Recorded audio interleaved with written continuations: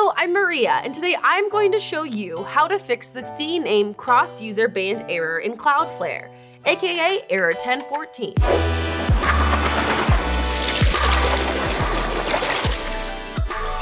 As you may already know, Kinsta integrates with Cloudflare to offer CDN services to all our clients. Typically, that integration works seamlessly, However, you may encounter the message error 1014 CNAME cross user banned. In this video, we'll talk about what error 1014 means and what causes it. Then we'll go over several ways to fix the error through your Cloudflare account. But before we get started, I want to let you know that there will be links to more resources in the video's description. And remember, subscribe and ring that bell to get notifications for future helpful content. Now, what does error 1014 mean?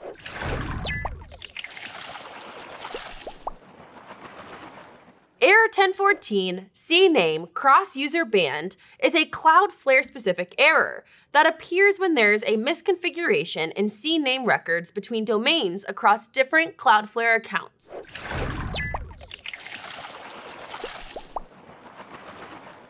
Cloudflare enables you to set up its CDN on as many domains as you need, depending on your plan.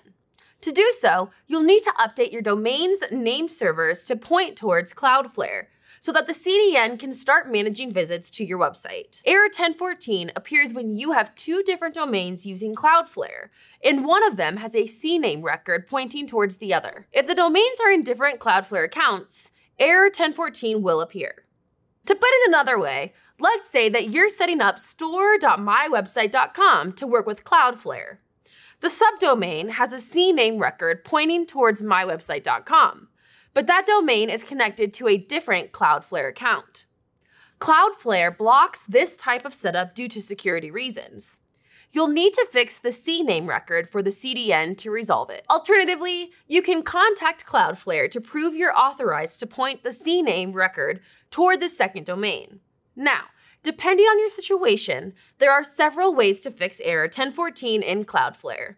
Let's go over three methods to fix the 1014 error.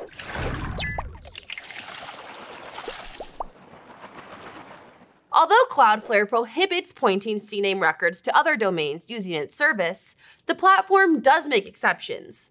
If you want Cloudflare to let you set up a CNAME resolution to a domain that's in a different account, the owner of that account can contact support and ask the company to lift the restriction. Keep in mind that Cloudflare only enables pro, business, and enterprise account users to ask for this exception.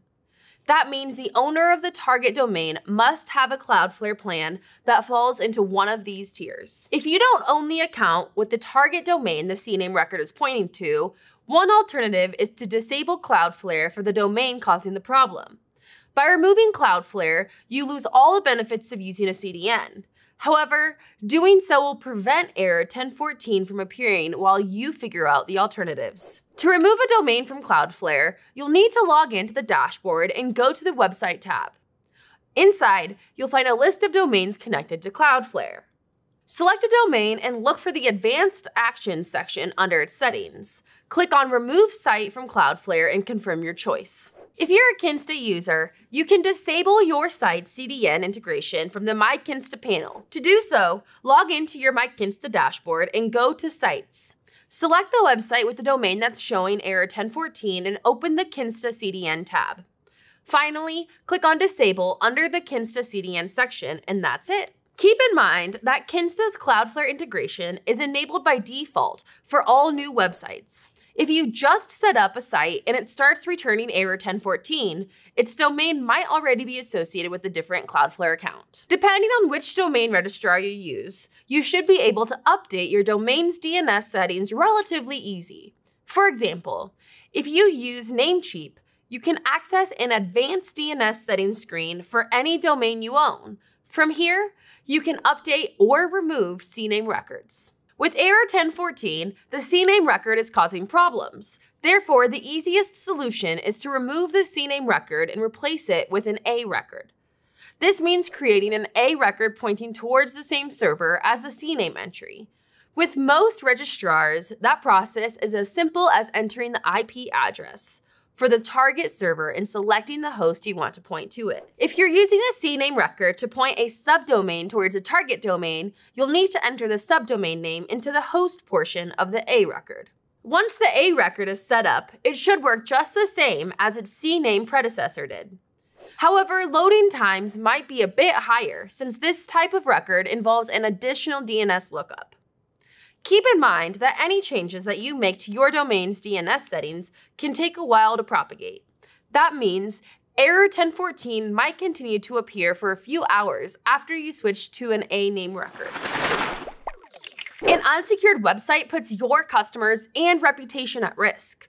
With Kinsta's Cloudflare integration, all the security features you need are built right into your plan at no additional cost. That's a monthly savings of around $200 per site. Learn more about these benefits, including DDoS protection, a more secure firewall, and more at kinsta.com slash cloudflare integration. Thank you so much for watching.